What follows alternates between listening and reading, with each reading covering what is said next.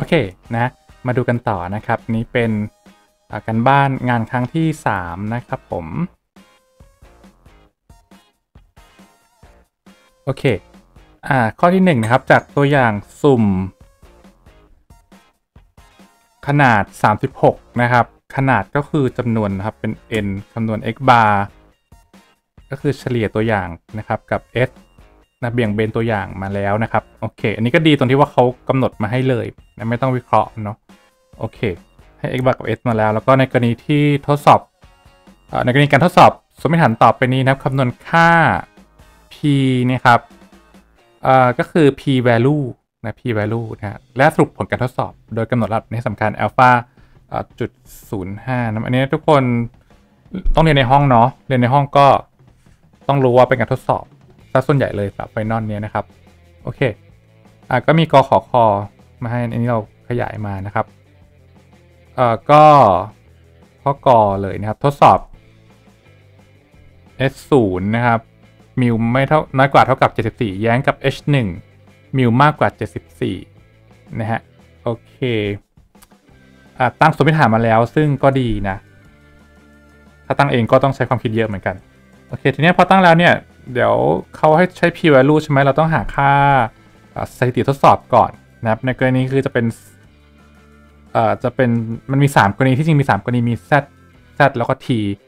อ่กรณีแรกคือทราบซิกมานะครับกรณีที่ 2 คือไม่ทราบซิกมาแล้วก็ n มากกว่า 30นะครับใช้ z ทั้งคู่ แต่ว่ากรณีที่ 3 คือว่าถ้าไม่ทราบซิกมาแล้ว n น้อยกว่า 30 อันนี้ก็ใช้ t นะครับทีเนี้ยอันนี้มันมันมันไม่ทราบซิกมาแล้วก็ n มันมากกว่า 30 นะครับ เพราะว่า36เนี่ยก็ใช้ z นะครับ ก็ก็ไปดูมามันมี 3 สูตรเรื่องเรื่องมิวนี่นะ โอเค z เท่ากับ x bar ลบมิวนะครับ ส่วนด้วย s ส่วน root n นะครับ อะก็ดีเลยมีหมดแล้วเนาะสบาย 80.4มิวก็คือ74 เป็นพารามิเตอร์นะครับ s คือ 16.2 ส่วน root n ก็คือ 30 อ่าฮะ กด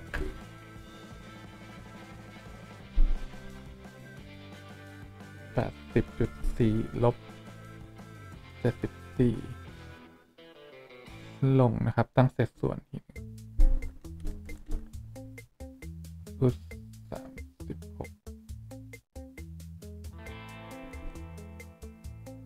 อะสองจุดสามเจ็ด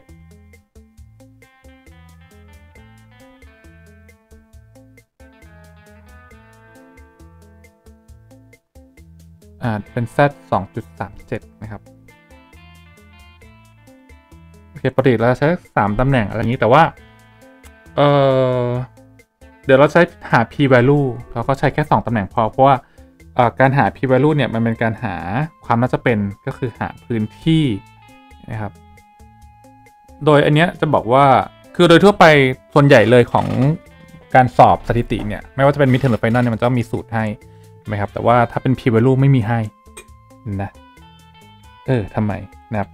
อันทีนี้สูตร p value เนี่ย มันจะต้องขึ้นอยู่กับรูปแบบการทดสอบด้วย อันนี้มันเป็นหางขวานะครับ เนี่ยดูจาก h1 เครื่องหมายของ h1 เป็นมากกว่า นี่คือรูปแบบหางขวานะครับ เราจะยึดยึดตาม h1 อะ สูตร p value นะครับอาจจะเท่ากับ p ที่ z มากกว่า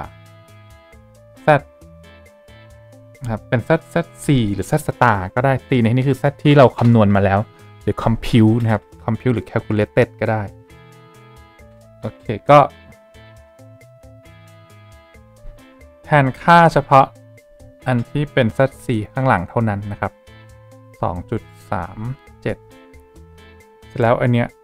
เราก็จะไปวาดกราฟหาพื้นที่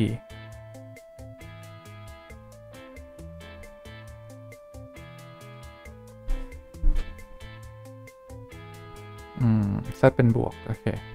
พื้นที่ฝั่งขวาท่านพื้นที่จะเป็นพื้นที่เล็ก แนวโน้มคือจะเปิดตารางหาพื้นที่แล้วก็ 0.5 มาลบอีกทีหนึ่งสองจุด สามเจ็ดพื้นที่แรงเงานี่แหละคือ p value นะที่เราต้องหามา ก็ต้องเป็นมีเป็นสกิลที่เราเปิดตาราง z นะครับเปิดตาราง z อืมสองจุดสามเจ็ดนี่เราจะเราจะเปิดจากข้างนอกเข้าไปครับ หาพื้นที่สองจุดสามจุดศูนย์เจ็ด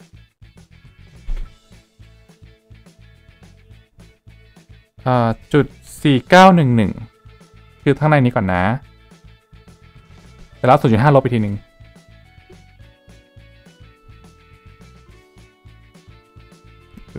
ห้าลบศูนย์จุด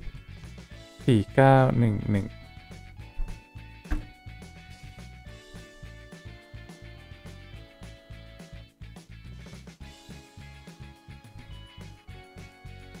อืมมันเป็นศูนย์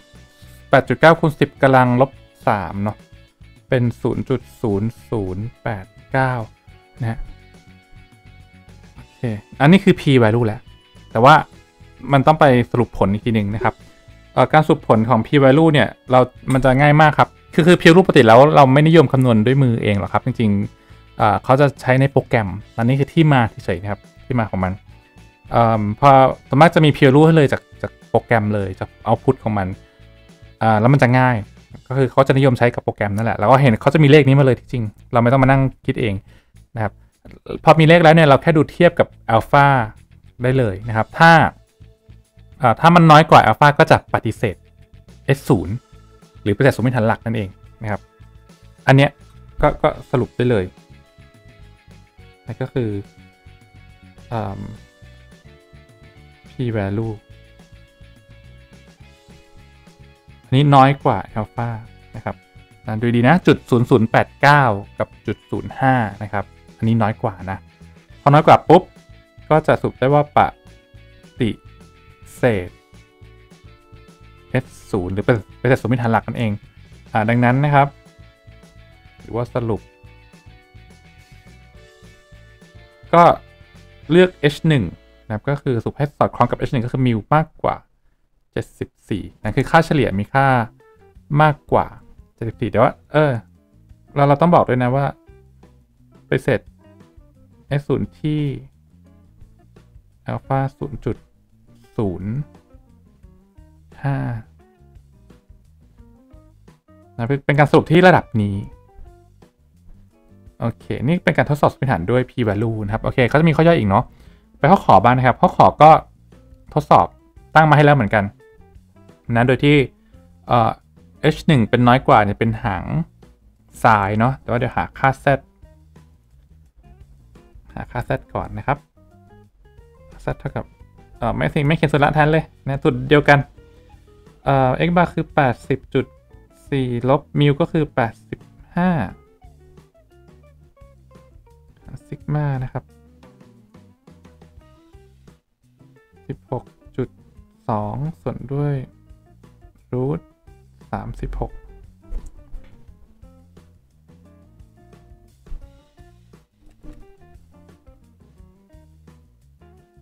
ลบแปดสิบห้าเงินหลงสิบหกจุดสองด้วยรูทสามสิบหกโอเคอะลบหนึ่งจุดเจ็ด ลบ1.7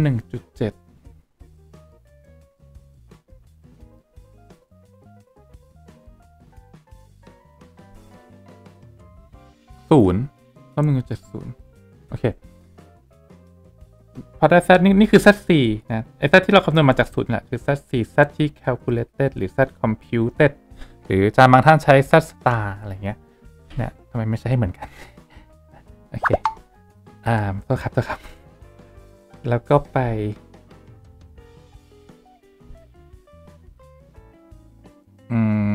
หาพิวลูนะห่างซ้าย ไปศึกษามา ว่ามันมีรูปแบบอะไรบ้างมีสามอย่างนั่นแหละหางซ้ายหางขวาสองหางนะแล้วก็ใช้สูตรใช่ไหมเป็น p value หางซ้ายนะครับ p value หรือ p เฉยๆก็ได้นะ เท่ากับเป็น p ที่ z น้อยกว่า z4 ครับแทนค่าเฉพาะ z4 นะครับ น้อยกว่าลบ 1.70 อันนี้น่าจะเป็นพื้นที่เล็กเหมือนกัน ไปวาดกราฟ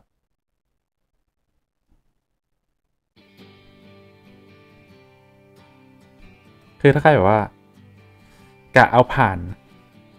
คะแนนแบบปลอดภัยแล้วแล้วกะเอาผ่านเลยเนี่ยพิวลูกคือว่า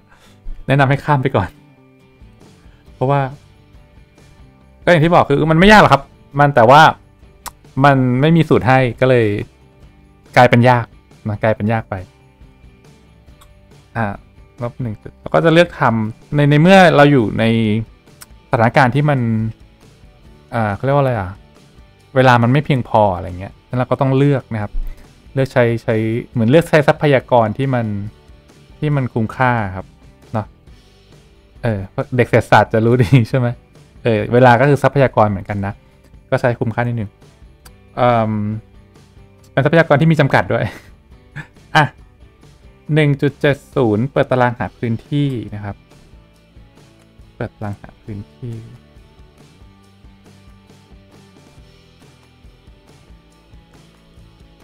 หนึ่งจุดเจ็ดศูนย์ก็นี่เลยถูกไหมฮะสี่ห้าห้าสี่จุดสี่ห้าห้าสี่จุดสี่ห้าสี่ข้างในก่อนนะ จุดสี่ห้าห้าสี่แล้วศูนย์ห้าไปลบอีกทีหนึ่งศูนย์จุดห้าลบศูนย์จุดอ่าสี่ห้าห้าสี่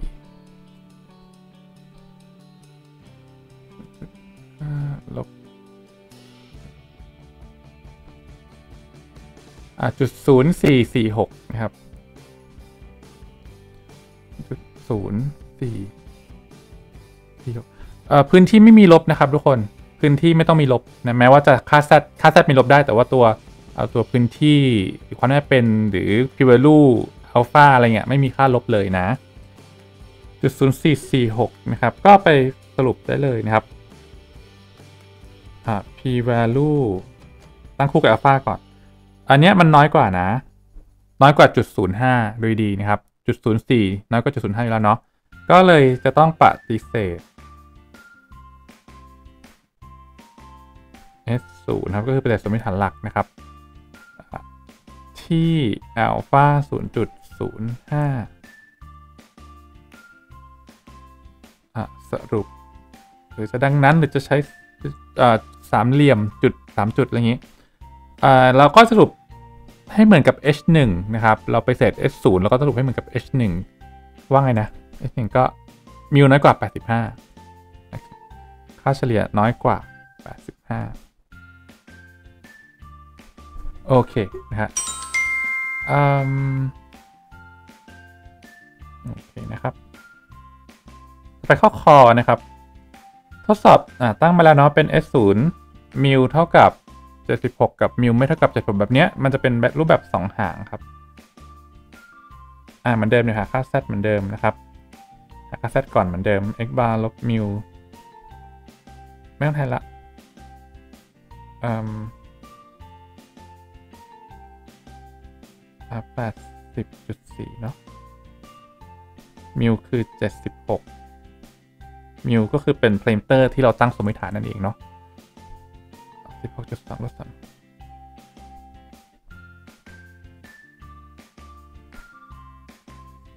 โอเคแปดสิบจุดสี่ไปน้องสอบกี่บทนะห้าห้าหกเจ็ดแปดเก้า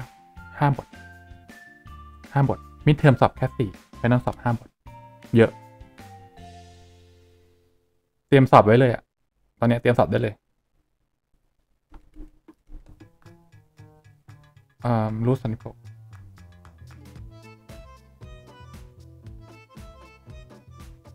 หนึ่งจุดหกสองครับหนึ่งจุดหกสามโอเค นี่คือ z4 นะครับนี่ตัวสูตรของ p value เนี่ย ก็ต้องดูจาก h1 อันนี้มันเป็นไม่เท่ากับ นี่คือ 2 หางนะครับสองหางจะสูตรจะเป็น p value เท่ากับ p ที่ z มากกว่า absolute ของ z c คูณ 2 ไม่ใช่หารสองนะครับ ถ้าถ้าเป็นสองหารแบบอีกวิธีหนึ่งจะใช้อัลฟาอัลฟาหารสองแต่ถ้าเป็น p value จะต้องหาพื้นที่คูณสองนะ โอเคอ่า p ที่ z นะครับ มากกว่าแอบสรุปก็คือบวกนั่นแหละเอาแต่บวกอย่างเดียว ถ้าเป็นลบก็ไม่เอาลบเอาแต่บวกไปเลย คูณสองนั้นแต่แล้วเนี่ยตรงก้อนนี้นะครับก็จะไปหาวัดกับหาพื้นที่นะครับเหมือนเดิมเลยเหมือนเดิม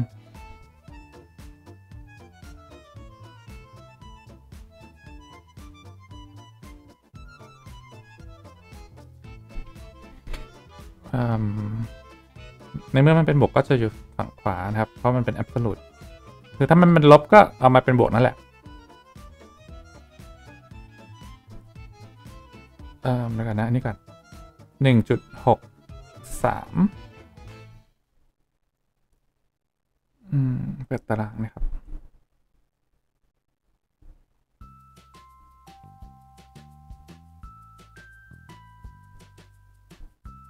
หนึ่งจุดหกศูนย์หนึ่งสองสามโอเค จุดสี่สี่แปดสี่เอ่อจุดสี่สี่แปดสี่ คือข้างในก่อนนะ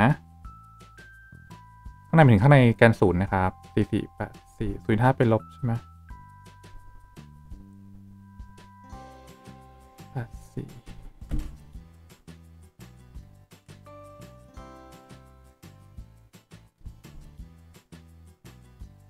ศูนย์ห้าหนึ่งหกเออเนี่ย ถ้าใครตอบอันนี้เลย p value คือผิดนะครับ มันต้องคูณมันต้องทำอะไรครับต้อง เอามาคูณสองด้วย p value มันก็เหมือนอัลฟานั่นแหละที่จริง เอาไว้เทียบกัน อะคูณสอง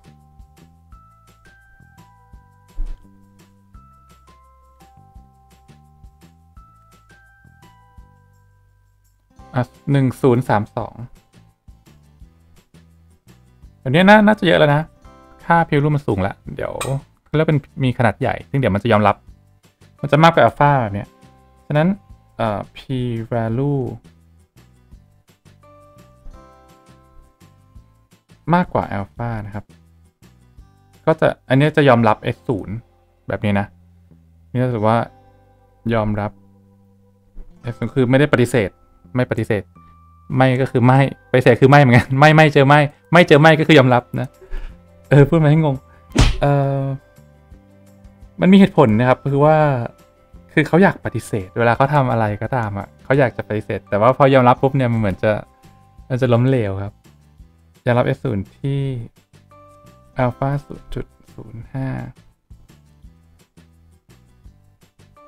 สรุปนะฮะอ่าก็สรุปให้ยอมรับ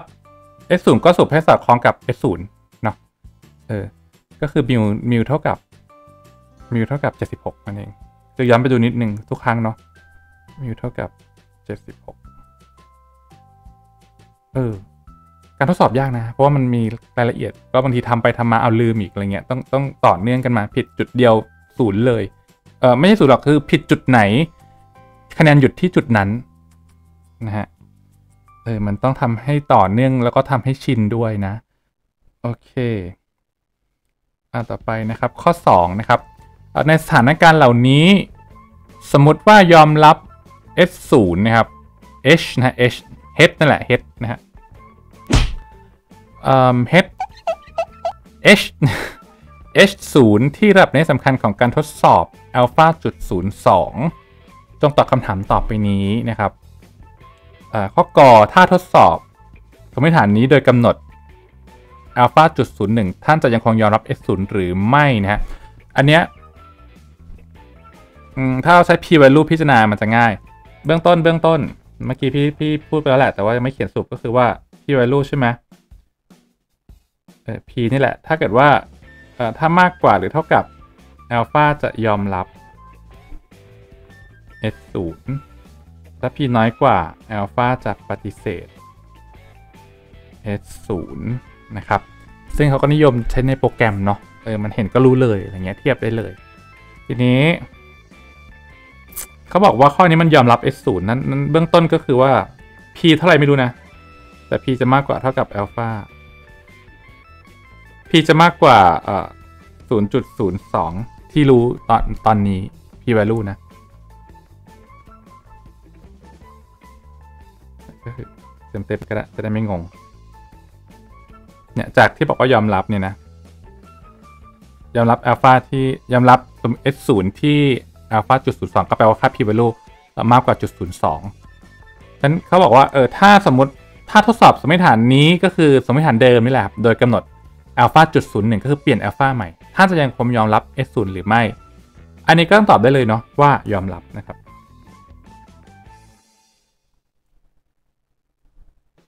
ยอมรับ S0 เพราะ p ก็จะมากกว่า 0.01 ด้วย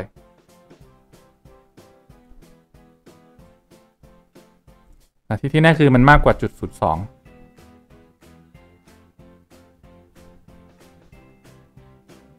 โอเค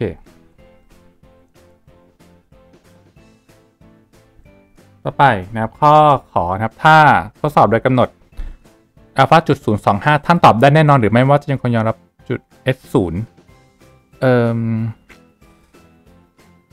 เรารู้ว่าเรามันมากกว่าจุดศูนย์สองใช่ไหม แต่เราไม่รู้มันมากกว่าเท่าไหร่ มันอาจจะมากกว่าไม่ถึงจุดศูนย์สองห้าก็ได้ ก็ก็ไม่สามารถตอบได้แน่นอน มันไม่แน่นอนครับ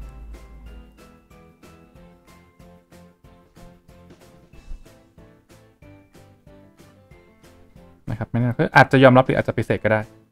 เนาะตอบตอบไม่ได้แน่นอน ตอบไม่ได้แน่นอนโอเค ต่อไปค่า p ข้อขอนับค่า p ของการทดสอบนี้น้อยกว่าจุดศูนย์สองใช่หรือไม่ ก็ต้องตอบไม่ใช่เนาะเมื่อกี้เราพูดไปแล้วเพรามันต้องมากกว่าหรือเท่ากับเนาะแต่ว่าไม่ใช่นะครับอะจะเขียนเพิ่มอธิบายซ้ำไปก็ได้เออนะ